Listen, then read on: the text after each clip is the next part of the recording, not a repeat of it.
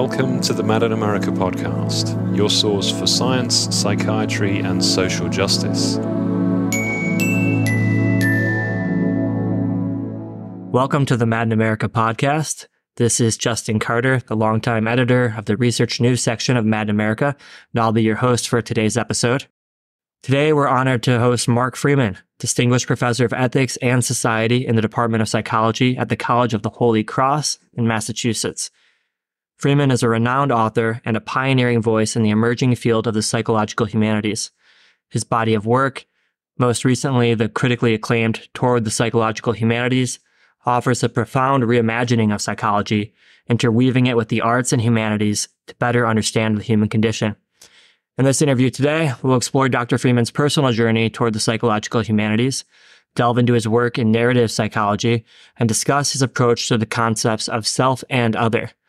We'll also touch upon how his perspectives guided him as he navigated his mother's journey through dementia, a deeply personal narrative he outlines in one of his books. So, Dr. Freeman, thank you so much for joining us on the podcast today. Pleasure to be here, Justin. Thank you. Could you start by letting our listeners know a little bit about who you are and what inspired you in your journey toward this version of psychology and the psychological humanities? How this path shaped your career? In some ways it's hard to know exactly where to begin. I mean, I could I could go back uh, as far as junior high and high school when I was a singer in a rock and roll band, but um, I'll, I'll, probably leap ahead instead to uh, to being an undergraduate at Binghamton University. That was in um, that was in the 1970s. Uh, like a lot of people who pursue psychology, I was interested in I was interested in big ideas, deep issues, you know, plumbing the depths of the human condition. And that really wasn't what was happening uh, at that point. I mean, on some level, it's still not happening, but back then, uh, things were predominantly behavioral um, in orientation. I was kind of shocked by the whole thing. I mean, partly that was a function of my naivete. I had just imagined that psychology was something really rather different than what it was. And that's partly because I got my images of what psychological understanding was through places like literature and film and the arts and so on. As luck would have it, I stumbled upon two courses. And it really was luck. Uh, I, I took a course in phenomenological psychology in the philosophy department. Uh, and I won't pretend to have known at the time what phenomenological psychology was, but I read the course description and it sounded kind of cool. And it was way closer to what I thought psychology was and also might be. So I was really turned on to that. And I also did take a course in the psychology department called Visual Thinking, um, where the main text was um, a text called Visual Thinking by Rudolf Arnheim, who um, was one of the most prominent psychologists of art for many, many years. And that too really turned me on. And I wound up doing a, a term paper on Gestalt psychology and art, and and just found like I was beginning to uh, to find myself and to find my way into at least some version of the discipline. The question, of course, after that is what to do. Okay, so I have these funky new ideas about what psychology might be. Uh, I was eager to pursue them in some way. But of course, there aren't many places where you can do that. Um, I took off several years, did some extensive traveling in the States and around Europe, and eventually uh, had the great good fortune of of finding a place that really seemed to suit me, and that was the University of Chicago. Um, I enrolled in the Committee on Human Development, which was a mixture basically of the social sciences and for me philosophy. Um, it was a kind of do-it-yourself program. I would say most of the people who got their PhDs in the committee turned out to be uh, psychologists, but some became anthropologists, some became sociologists, um, and and so on. So it was a very heady place to be. And there were a couple of things that I just would call attention to, and it might seem like I'm going into too much detail about this, but it's actually relevant. Um, in the Committee on Human Development, the main focus was to study human lives in as comprehensive, multifaceted a way as possible. Um, so we were required to take courses in things like developmental psychology, that sort of thing. Um, but also courses in the sociology of the life course and cross cultural human development uh, and other things. And, and at that point, there was a big focus, especially on the idea of life history um, and, and how to understand it, right? How do we understand the movement of a human life? What kind of methods are appropriate to it? Um, so that's going on in the Committee on Human Development. But I also went to Chicago because I was interested in learning more about the work of the philosopher Paul Ricoeur. Um, that I saw that he was teaching a two semester seminar in the phenomenology of time consciousness. Um, it was risky territory for me. I, I had some philosophy, but not a whole lot. And we had to read in the first semester Plato and Plotinus and Aristotle and St. Augustine, and all of that was new to me. Second semester, Husserl, Heidegger, all that. And Ricoeur at that point was also really doing a deep dive into the idea of history and historiography and their relation to narrative. And in fact, he wound up teaching another course that I also had the great privilege of taking called Historicity, History, and Narrative. Um, and it was precisely about the kinds of issues that I was pursuing in human development, but on a much broader plane. And we were reading literature, we were reading history, we were reading historiography, we were reading psychoanalysis, and more. So there was a kind of amazing confluence between what was going on in my home department um, and and what was going on in in philosophy at the time, especially through the work of of Ricoeur. So that really just sent me to a really quite extraordinary place. And you know, the very first piece I ever did is when I was a grad student. It was a very audacious piece uh, called history, narrative, and lifespan developmental knowledge, which I published in the journal Human Development. It was back in 1984. Because I just had to figure out some way of integrating and synthesizing all the stuff that I was learning. Otherwise, I, you know, would have exploded, so to speak. The other thing was I did engage in some empirical research, broadly speaking um, I became involved in what was known then as the Artist Project, which was led by Mihaly Csikszentmihalyi, Mike Csikszentmihalyi, the person who's best known for the idea of flow. And he had a research project that studied a group of aspiring painters and sculptors who'd been schooled at the Art Institute of Chicago in the mid 60s. And the goal was to figure out, to find out what they had and hadn't been doing some two decades later. Um, so I got to travel to all kinds of funky places, you know, ranging from the Hamptons to Soho, um, and also outside of New York, uh, to have very extensive talks with some some of these people. Um, and so that kind of threw me headlong into the art world and what was happening in the art world, what was happening in the world of culture more generally, what kinds of work, um, you know, sort of had currency and cachet, what kinds of work didn't, and so on.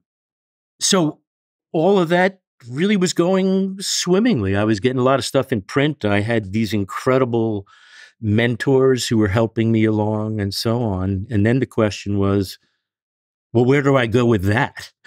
Um, and, you know, quite honestly, there are some people who are casualties of the University of Chicago because they might have been terrific scholars, thoroughly interdisciplinary, innovative, creative, and more. but that's not what most departments are looking for, um, especially psychology departments, who are generally looking for people whose work is much more specialized, that fits into the journals that are generally considered to be the best, um, which often aren't. But again, in a real stroke of luck, I saw an ad. It was 1985 or 1986. The College of the Holy Cross wanted somebody to teach phenomenological psychology and just about anything else I wanted to do. So I was lucky to land there. And uh, this is now my 38th year. I've been there ever since. So, to jump ahead a little bit, the first two books I did, one of them was tied to the Artist Project. It was called Finding the Muse, a socio psychological inquiry into the conditions of artistic creativity. And the other um, was called Rewriting the Self, subtitled History, Memory, Narrative.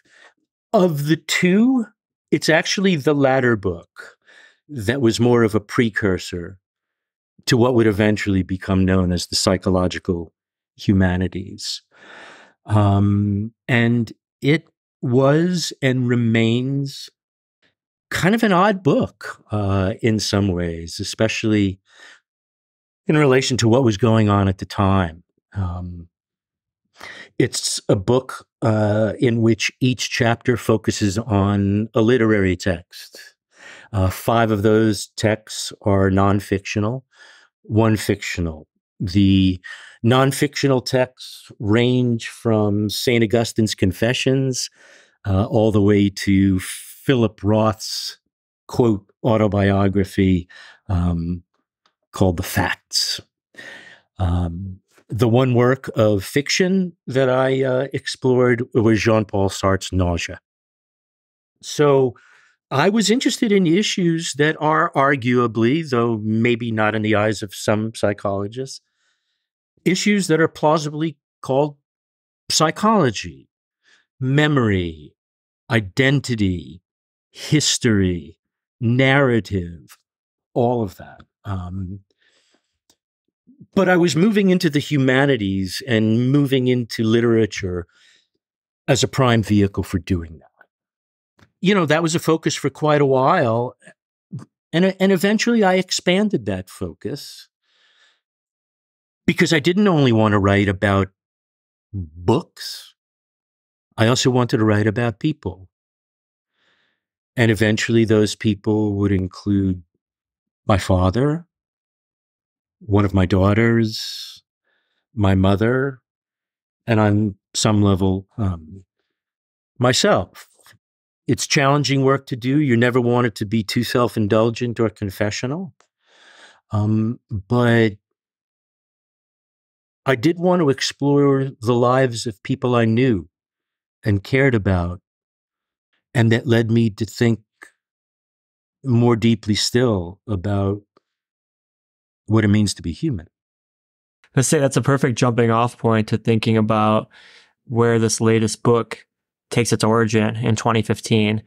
Uh, in the beginning of the book, you name this conflict that you're feeling between the work that you've been prepared to do through the studies you've outlined for us and really thinking about what a psychology for people looks like uh, and noticing the ways that psychology writ large, embodied in the American Psychological Association, has somehow gotten away from being about people.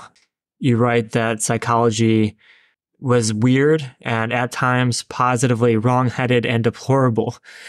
And you start to outline some of the tensions that you're feeling at the time as a president uh, of one of the divisions of the American Psychological Association, the Theoretical and Philosophical Psychology Division, and uh, outline a different way forward for the field in that talk. Um, so I wonder if can you bring us uh, there, bring our listeners there uh, to thinking about uh, how why you felt so deeply conflicted about your role at that time? It was a very, very difficult time for me to be president of the division. And the reason actually had to do with what was going on in the APA at large.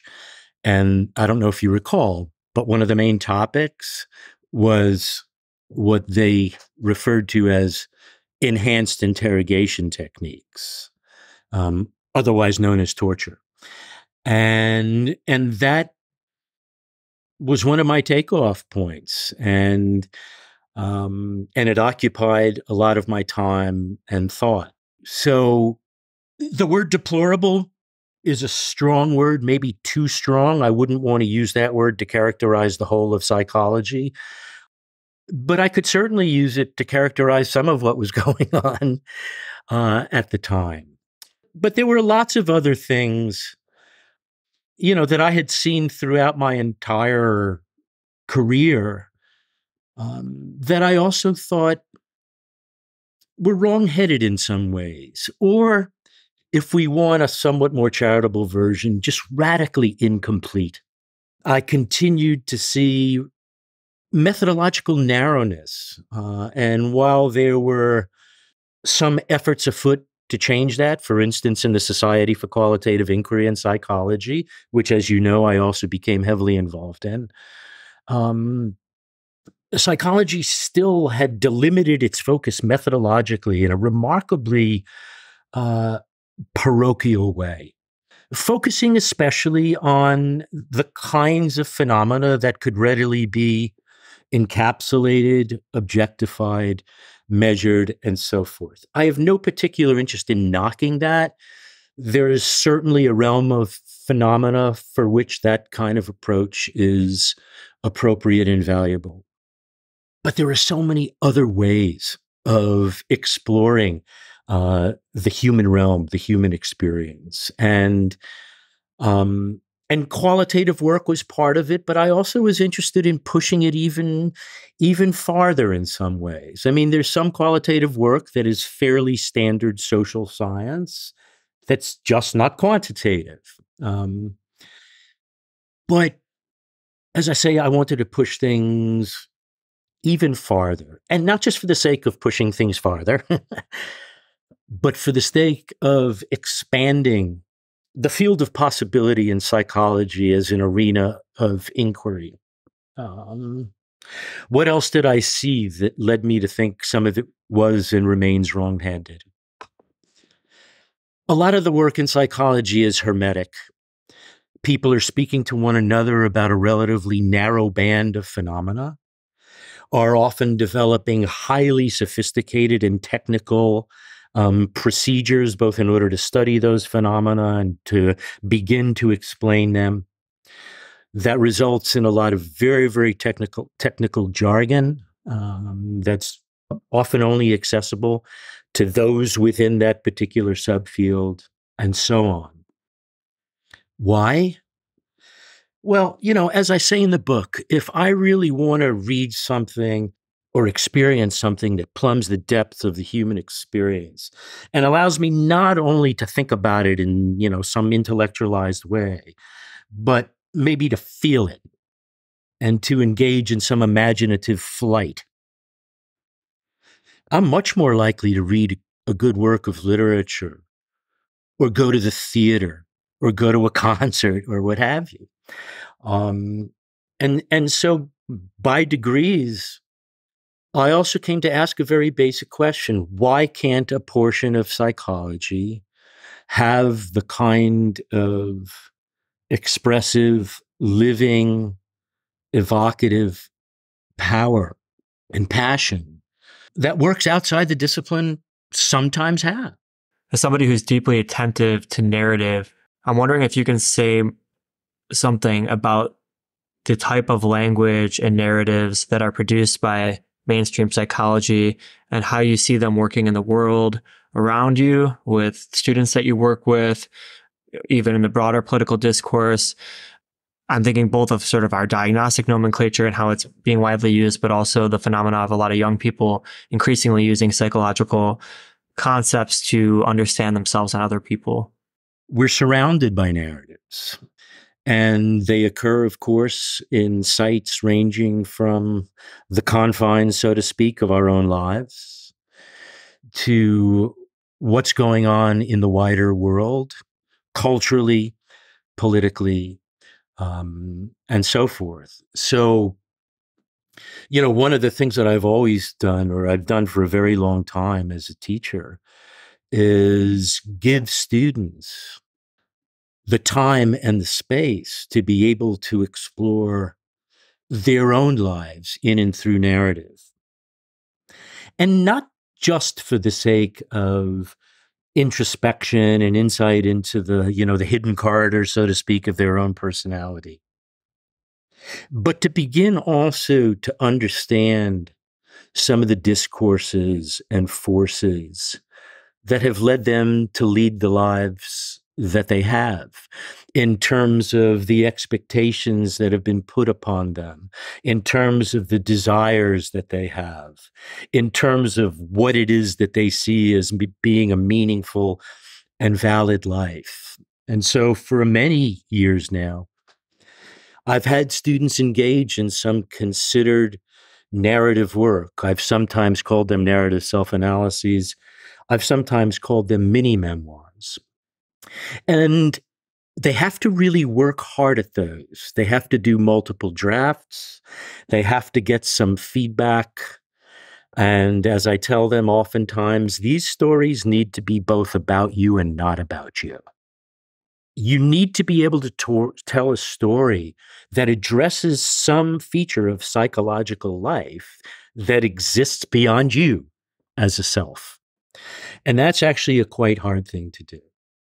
I guess so. One of the parts I was uh, pushing for with this question is thinking about how the hermetic discipline of mainstream psychology, the hermetic seal is broken, and these concepts that are forged in increasingly specialized and experimental set- settings become part of the popular discourse or become part of the ways that uh, people are, are making sense of themselves and other the relationships to other people. And I'm thinking a little bit uh, about uh, as a narrative psychologist, how you see that in your work, the sort of increased psychologization, uh, rather than the sort of poetic or humanities or literary approach to kind of understanding our lives. A psychologization, you know, as you as you yourself just said, it's it's part of the fabric of con- contemporary culture and has even become more visibly so in recent years um, as people talk about you know the anxiety that derived from covid and and and all the rest. And meanwhile students are taking courses in psychology departments where they are um, being exposed to the DSM and the jargon of psychology and diagnostic categories, and on some level, applying them to their own lives you're you're probably familiar with the looping effect. So, you know, that certainly happens. I mean, on some level, we become the selves that we're reading about and studying about and that are circulating uh, through through contemporary culture. Some of that's fine in its way. So, you know, my goal would never be to say, nor would it be possible. Disregard all of that, stand apart from all of those discourses and categories that are circulating, and see if you can move into the depths of your own truth. You know, that would be, quote, unhermeneutical. It would assume the possibility that we could extricate ourselves from all that surrounds us and somehow encounter and behold ourselves nakedly. And as you well know, that's not possible. What is possible is to provide some resources that can allow students to interrogate things, to become aware, more aware at least, of the way in which they are constituted and formed, and perhaps on some level deformed as modern selves. And so there's a limit to what can be done in the span of a semester or a year. I have no illusions about, you know, being some magical transformative force. But to be able to have students, and I work almost exclusively with undergraduates, to be able to have them acquire some critical consciousness in the way that we're talking about, some historical consciousness, in the sense of being more aware of the formative factors that have culminated, at least in their way of thinking about themselves. One has to be very cautious in doing these things. You know, if if I'm going to write about my mother or my father or myself, and I'm going to try to do it with some measure of honesty and integrity and depth, it's not only going to be risky, but it's almost certainly bound to be painful in some way. And I know that you say this as somebody who has written both about the self in general and yourself and your your mother, as you mentioned. So uh, let me pick up on the self first. One of the really intriguing aspects of your work, among many, is this idea of the being able to transcend the self or transcending the self. Could you discuss how these transcendent experiences as exemplified in music or other forms of art, as well as in mystical and religious experiences, contribute to your understanding of human psychology and the human condition, uh, and even the interplay between the human and the divine? I certainly developed the interest through some of the things I was reading, like the Confessions, like people like Martin Buber and Emmanuel Levinas, um, and so on.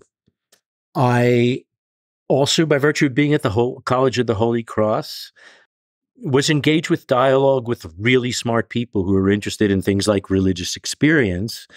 Um, and being in dialogue with those people allowed me to see, in some ways, the poverty of some of my previous education, because a lot of those issues were kind of ruled out of bounds as being either too religious or just too freaky for psychology. So that's part of it. But also, there was experience as such. Um, and and for me,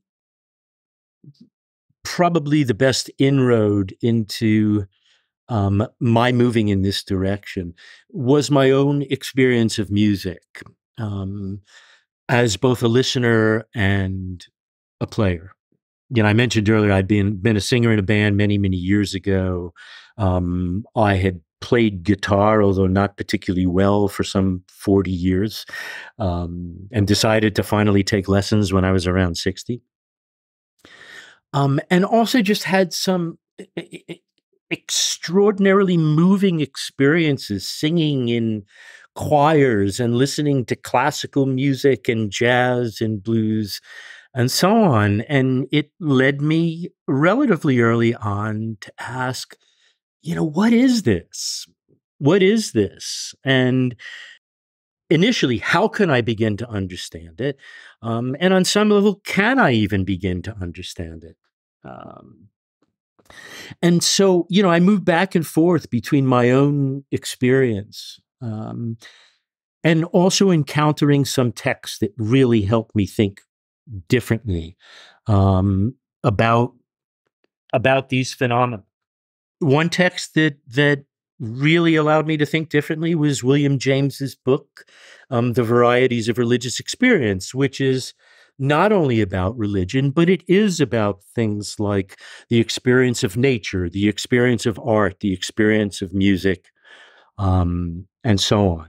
And I don't know how well you know James' book, but it's an extraordinary compendium of experiences of people who uh, are describing a kind of ecstatic oneness with the world. And, you know, James discusses the the the central characteristics of mystical experience people have the conviction that they're discovering new dimensions of knowledge and reality and selfhood and so on um, and they also describe themselves um, as encountering some sphere of reality and being that is outside the perimeter of the self. And so, you know, in classic Jamesian fashion, towards the end of the book, he basically asks, So, what is all of this? Are these just really cool and interesting, deep and provocative experiences that finally can be understood in a purely psychological way, which is to say, naturalistically. Well, maybe it's unconscious, subconscious cerebration, as he calls it, or maybe it's some kind of biochemical phenomenon. He's also interested in the issue of why it is that so many people who have these experiences also have significant elements of psychopathology, including religious virtuosos, mystics, great writers, painters, all the rest. So he wants to answer the question can all of this be understood in the basic terms that psychology has formulated? Naturalistic. Or might it be the case that there's something else at work? He doesn't know exactly what that is. He doesn't know what to call it. He refers at one point to spiritual energies, and well, we don't need to go into too much detail. And he offers us an answer in the final pages he says, Look, I can't possibly answer this question in any definitive way. All I can tell you is that what experience has revealed to me in multiple ways throughout the course of my life and throughout what I've learned from other people's lives is that there may be more to the human being than a purely naturalistic wholly secular, so to speak, account can give. Um, I find that to be a courageous and very provocative move. And I'm not especially religious, so I should kind of get that out of the way. And as I said to one um, psychologist of religion probably 20 years ago, I said, look, you need to understand this. Um, I'm a Jewish guy from New York.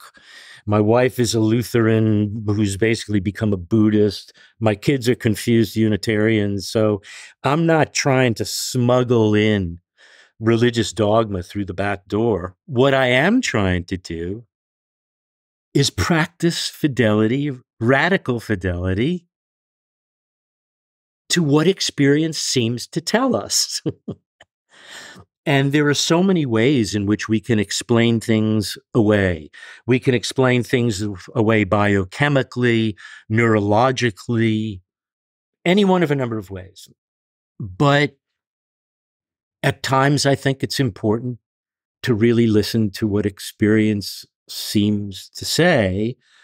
And of course, the other related challenge is it also becomes important to find a language, and not only language, to be able to speak to experiences that are not readily articulable, explainable, and so on. And that also means moving into a different register of language and maybe even moving beyond language altogether for some of what we do in psychology. And, part of how I'm hearing this whole project of the psychological humanities and the answers that you've given so far is that it's not just a supplement to psychology in some way, but is in fact necessary for students, uh, for people learning psychology to be able to think about how uh, to put the constructs and the narratives that they're learning together, how to make sense of them, how to hold them lightly, how to make sense of themselves through different lenses, and then also to be able to sit with with others whose experiences seem unknowable or uncharacterizable or where our language fails us. And I think you, you demonstrate in your work um, how this way of thinking about psychology prepares you, although you're not a clinician, for witnessing this kind of ineffability. Uh, particularly, uh, for, for one example, in your book um, about navigating the challenges of your mother's dementia called Do I Look at You with Love? Can you share how your background in narrative psychology and this approach to the psychological humanities kind of influenced your perception and your experience of this deeply personal journey with your mom? So there I am as a student of memory, identity, self, and so on. And at one point, it was clear that uh, my mother was was falling victim to some was initially diagnosed as you know mild cognitive impairment that was painful and disturbing of course to her and uh, to me and my brothers and, and our families But I won't deny that it also became fascinating. And so relatively early on, I, I, I began writing and I wound up basically writing four or five pieces that paralleled the trajectory of her disease across the dozen or so years of her dementia. And I, I, will say, in, in many ways, I see it as a real psychological humanities endeavor. In fact, I'd go so far as to say that it was probably that book more than anything that allowed me to move more from promising the psychological humanities or talking about it in an abstract way. We need to be poetic. We need to do, and actually doing it. One decision I made relatively early on, and some people might find fault with this, um, I decided not to read very much about dementia at all. I wanted my own understanding to grow out of what it was that I was seeing, what it was that I was observing, what it was that I was understanding. So how to find the language to do that? I mean, it's another it's another challenge. It's not unrelated to the one we talked about. How do you find language to talk about phenomena that are in some fundamental way ungraspable? But there was another thing I wanted to do in the book. And that is so much of what I had read was almost exclusively tragic and understandably so. It's a tragic disease. And in some cases of dementia, it seems as if there's no story to tell except a tragic one of deterioration and demise. But that's not the only thing that I saw in my mother's experience. Yes, of course, I saw a deterioration and demise and protest and rage and confusion and what I call dislocation and lots of other horrifying, painful things. And I also saw beauty and joy and connection of a sort that I wouldn't have seen had she remained healthy. And that's such a strange thing to say, but it's true. And it's partly because I spent lots of time with her.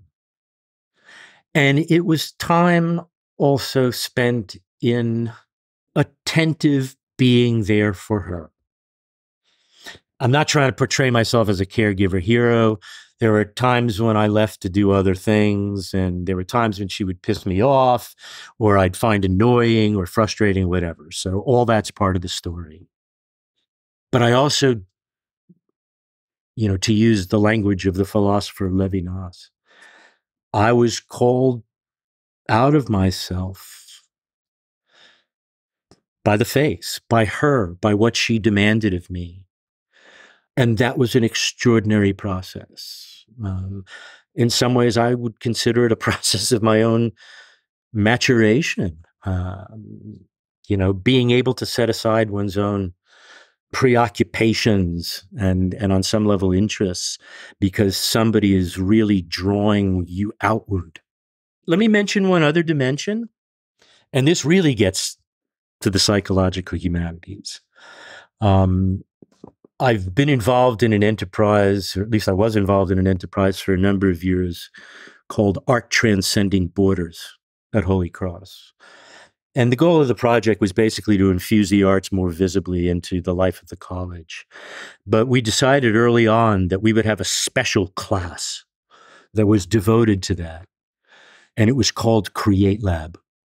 The first year of Create Lab, eight faculty were in a theater space together for the entire semester with about 70 students. There was a composer, a novelist, a sculptor, two people from theater, um, somebody from economic sociology, and, and myself. And we had a theme. The theme for that year was time, memory, and identity. And the goal was how do we bring together all of our interests, knowledge, skills as thinkers, as artists, and so forth, to shed light on this trio of ideas. So we had about 40 students that year. Uh, they read my book.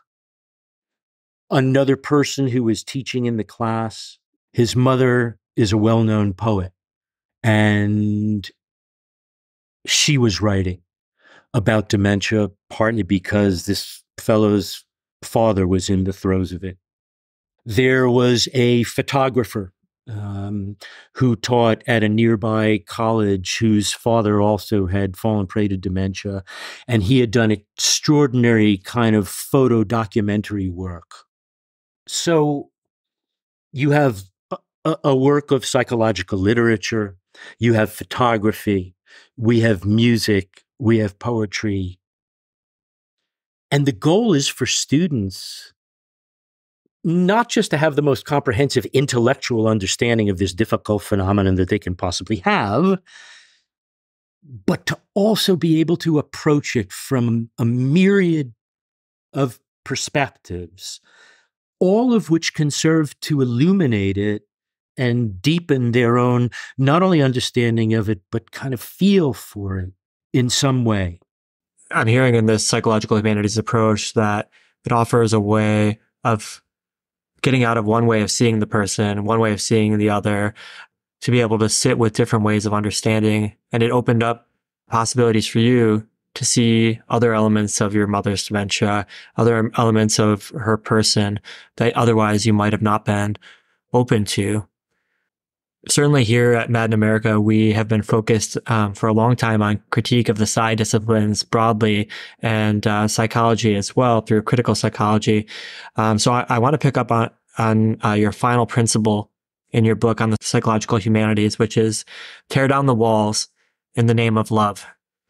Uh, and you argue that any critique of mainstream psychology should come from a place of love.